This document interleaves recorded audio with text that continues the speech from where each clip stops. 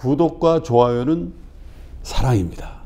자 오늘 아, 또 증시에 아마 관심들이 많으실 겁니다. 어제 네. 워낙 또 어이구, 드라마틱한 그러니까요. 반전을 보여줘서 과연 오늘은 네. 또 어떤 모습일지 증시 각도기 곽상준 부지점장님 모시겠습니다. 어서 오십시오. 네, 안녕하십니까. IRP는 신한금투와 신한금융투자 증시 각도기 곽상준입니다. 네. IRP 진짜 몇 건 저 했습니까? 네, 한 건 들어왔습니다. 캠페인 기간이라고 내가 네, 한 캠핑 한 건. 한건 들어왔대요 한 건 지금. 들어왔어요. 많이 화나 계세요 지금. 한 건. IRP 여러분 왜 안 하십니까? 네, IRP가 서류가 복잡하더라고 내가 어제 하려고. 서로가 그래요? 복잡하죠. 서류가 좀 복잡해. 네. 노후를 맡기실 분만 오십시오 저에게. 알겠습니다. 네. 자 IRP는 신한금융투자와 함께 우리 아, 한 건 아니네. 두 건 내네. 두 그래 건. 두 네. 건일 거야. 네, 한 네, 건또 맞아요. 있었잖아 이거. 그분은 안 오셨어요. 안 네. 왔어요? 네. 저한테 이제 연락 주지 마세요. 그분은. 아 왜 이렇게 자꾸 좁게 가요? 연락을 달라 그랬는데 왜 안 가시지? 저그 어, 오늘 미국 시장은 이렇게 표현할 수 있을 것 같아요. 그 어, 개, 개 같은 시장, 강아지 같은 시장 이렇게 표현하면 될 것 같아요.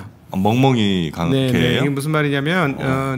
그 우리 전설적인 투자자 안드레 코스톨라니의 유명한 얘기 아시죠? 네. 산책하는 사람과 강아지. 그렇지. 어, 산책 그딱 그 표현인데 어제 이제 말씀을 드렸습니다만 형이 오니까 이제 힘을 얻은 거예요. 네. 네, 그래서 아주 자신감에 충만해서 쭉 달렸습니다. 시장이 아무런 문제 없다라고 생각하면서 쭉 달려서 시장이 굉장히 쭉 뻗어 나갔고 어, 이렇게 되면 한국의 하락은 해프닝이었다라고 생각이 들 정도로 상당히 그 신기했던 그저께였죠. 음. 예, 그런 장이었고 어제 그것들을 이제 아는 거죠. 아, 이게 별일 아니었는데 괜히 놀랬구나라는 거고요. 이렇게 보시면 돼요. 어제 장이 중 어제 장그 하락과 반등이 중요한 건 뭐냐면 강세장의 특징은 하락한 다음에 굉장히 빠른 회복을 합니다. 여기서 우리가 배워야 될 건 뭐냐면 이렇게 하락하는 후에 빨리 반등을 하게 되면 어떤 일이 벌어지냐면 향후에 심리의 변화가 생기는데 네. 어떤 심리의 변화가 생기냐면 하락을 두려워하지 않는 심리가 그렇죠. 생기죠. 떨어지면 그렇죠. 사야지 이런 어. 예, 거. 예, 예. 근데 이번에 한번 세게 경험한 거예요. 바닥에 산 사람들이 걷어들인 거죠. 1조 5천억이라서 1조 5천억. 예, 그러니까 어, 코스닥은 한 7%, 그럼 개별 종목은 10% 빠진 게 흔했거든요. 그렇죠. 네, 코스, 아, 거래소도 5% 빠졌으면 개별 종목 7, 8% 빠지는 거는 일반이었고, 네. 그러니까 거기서 잡은 사람들은 벌써 하루 아침에 7, 8% 연간 수익률 이상의 수익이 나온 거죠. 매일 그렇게만 먹으면 떼재벌 되지. 네, 그러니까 이런 경험들을 통해서 이게 뭐냐면 일종의 성공 경험이에요. 그렇죠. 근데 성공 경험이 누적되면 어떻게 되냐면 하방에 무뎌지게 됩니다. 음. 그것이 바로 계속 제가 말씀드렸던 아니함을 부르는 거죠. 네. 어, 신용을 쓰는 사람들이 괜히 신용으로만 하는 게 아니에요. 그 앞단에 뭐가 있었냐면 신용으로 흥했기 때문에 그렇습니다. 그래서 이런 과정들을 거치면 갑자기 자, 자산이 3배, 5배, 7배 이렇게 늘어나요. 신용을 쓴 사람들은 잘 풀렸을 경우에 어, 종목 선택이 좋고 이러면 그럼 이렇게 되면 어떻게 되냐면 올라갈 때 사실은 엄밀하게 따지면 전체 그림 큰 사이클 하나를 전체를 놓고 보면 올라갈 때마다 신용을 줄여야 됩니다. 근데 어떻게 되느냐? 더 늘려. 신용을 늘리게 되죠. 매우 네. 철학. 예, 그래서 마지막 한 큐에 당하는 거죠. 마지막 한 큐 떨어질 때 보시면 아시겠습니다만 떨어지는 것은 어, 열 자 열 발자국으로 올라가서 엘리베이터 타고 내려와요. 그렇지 않습니까? 등산을 해 등산을 한 다음에 내려오는 건 엘리베이터를 타고 내려와. 그렇지. 예, 항상 그렇거든요. 항상 왜냐하면 공포감이 한꺼번에 쏠리기 때문에 그렇습니다. 그래서 어 그 이런 부분들의 구체적인 예가 미국의 항공사들이에요. 음.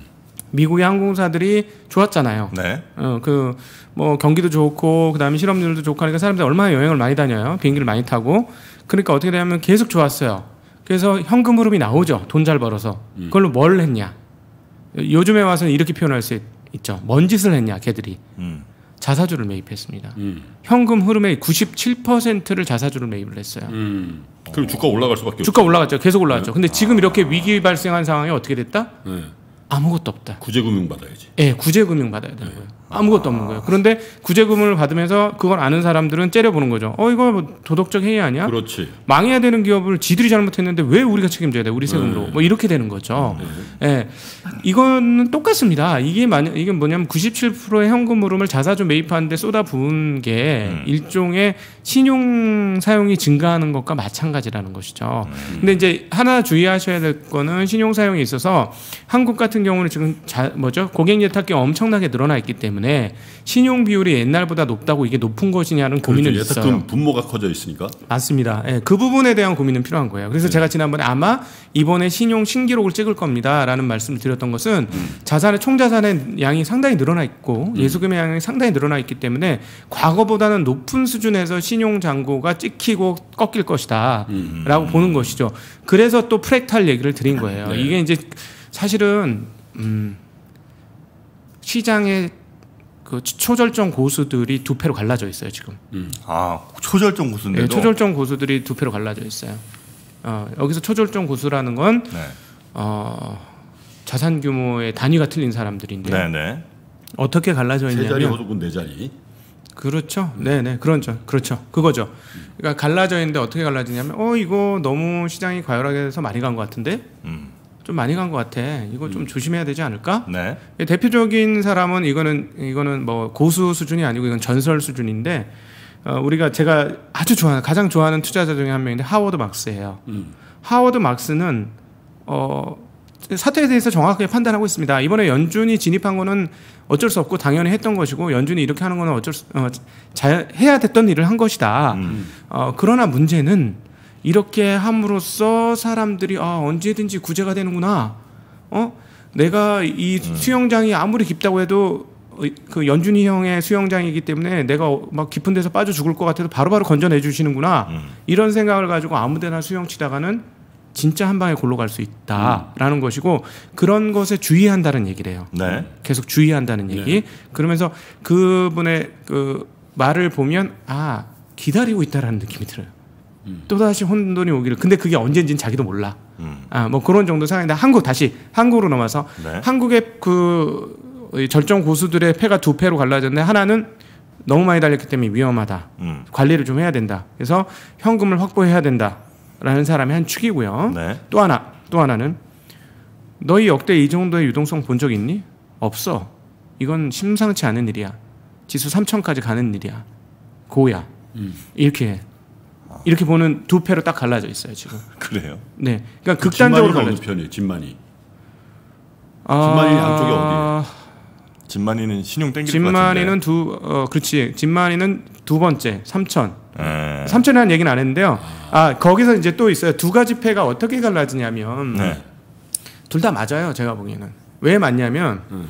이첫 번째 그룹은 어떻게 자산을 늘린 애들이냐면은 네. 아 애들이 아니고 분들이냐면은 어, 어, 위험을 관리를 잘해서 현금을 가지고 있다 이번처럼 톡톡 빠 이, 이 정도는 아니야 더 많이 빠질 때 접근하긴 하는데 하여튼 이렇게 빠졌을 때 있잖아요. 막 패닉 비슷한 패닉 네네, 셀링 네네. 비슷한 거 나올 때 걷어들이는 스타일들이죠. 음. 이런 쪽 고수에 이게 이제 한 축의 고수들이에요. 네. 그래서 지난번에 말씀드렸죠. 진짜 고수들은 지난 바닥에 뜰 채로 떴다. 음. 두 번째 고수는 또 뭐냐? 이런 고수들도 고수가 있어요. 어떤 고수냐면 그냥 버티고 가는 거예요. 내가 믿는 기업 꽉 들고 아무 생각 없이 그냥 가는 겁니다. 쭉. 나도 고수인가 본데. 내 스타일이거든요, 그게. 네, 제가 간절히 기도하겠습니다.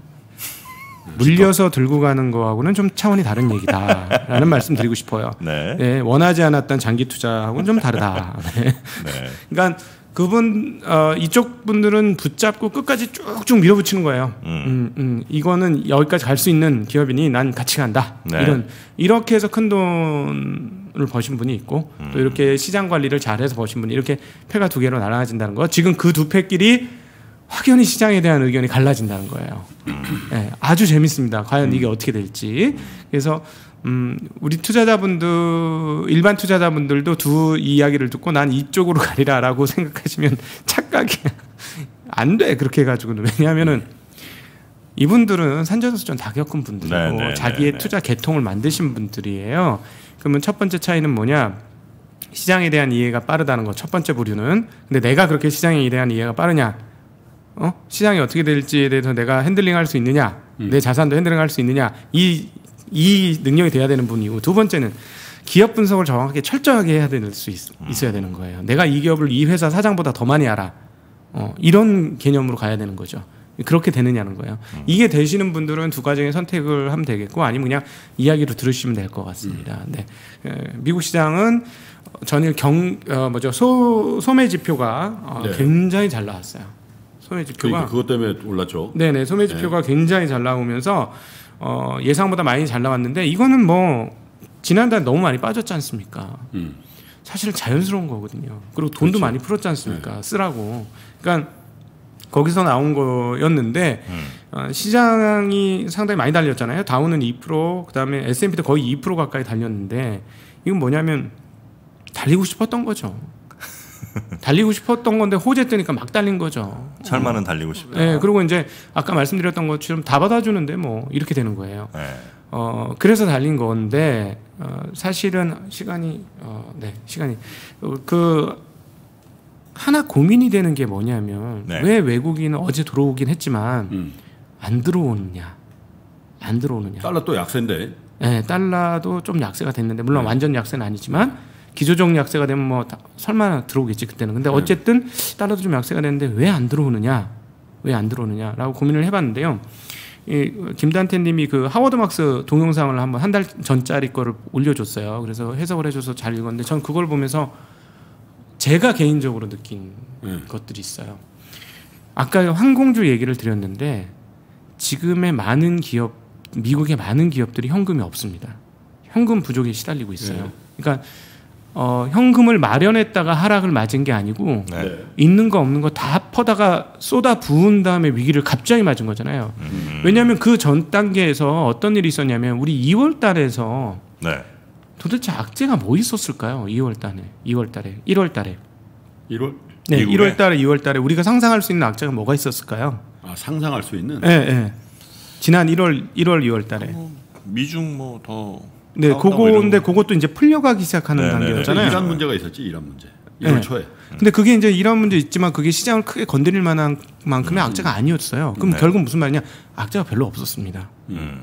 그런데 이제 때는 무르익었고 악재가 나올 순간에 신기하게도 코비드가 터진 거죠. 그렇죠. 네. 예, 그 정말 신기하게 터진 건데 그러다 보니까 기업들 입장에서는 자기네들도 나름 리스크 관리한다고 받지 않을 거예요. 이 좌우 좌우 살피면서 왔는데 뭐 백미러에 아무것도 안 보이고, 음. 근데 갑자기 옆 옆 옆에 숲에서 동물 튀어나온 거죠. 네. 이거는 고라니. 그죠? 그러니까 백미러와 전면 전후방 감시를 안 한 건 아닌데 봤는데 아무 일 없어서 과속으로 달렸어. 또 갑자기 숲풀에서 그냥 동물이 툭 튀어나오니까 네, 이건 어쩔 수가 수가 없었죠. 없었던 사고였다고 볼 수 있죠. 네. 그러니까 이 무슨 말이냐? 그 전에 괜찮다고 해서 엑셀을 쭉쭉 밟아가면서 사업을 했기 때문에 이 위기가 터지고 나니까 상황이 어땠느냐? 대비를 안 해놓은 거죠. 음. 현금이 없어요. 현금이 없으니까 현금이 계속 필요한 거예요. 달러가 계속 필요한 거죠. 네. 그러니까 25조를 팔고도 아직도 안 돌아오고 경기가 살아날 것도 같고 한국은 그래도 상대적으로 좀 나은 것 같기도 한데 왜 안 들어올까라는 고민이 계속 있었는데 아 미국 애들이 돈이 없구나 지금 달러가 없구나. 그러면 기업들이 아닌 투자자들. 아 미국 기업들이죠. 미국 기업들이고 투자자도 있을 거예요. 분명히 쭉쭉 치 쭉쭉 밀어붙였으니까 네. 지금은 그러니까 어, 생각보다는 아, 쉽게 얘기하면 우리 말로 환원해서 보면 미국 애들도 신용을 많이 썼다는 거지. 음. 네, 그런 상황이기 때문에 현금이 쭉쭉 필요한 거예요. 그러니까 지금 계속 빼가는 거예요. 시고 그 네. 미국뿐만 아니라 전 세계 투자자들이 좀 그런 상황이었다라는 거죠. 그 많은 달러는 다 어디로 갔나? 네. 아니 그그 그 돈이 앞으로 더 들어올 막 이게 들어올 일은 별로 없을 것 같다는 말씀이세요? 아 그러면 한국에 돈이 들어올 정도면 그 뒤집어서 생각해 보면 아 진짜 경기가 회복되는구나.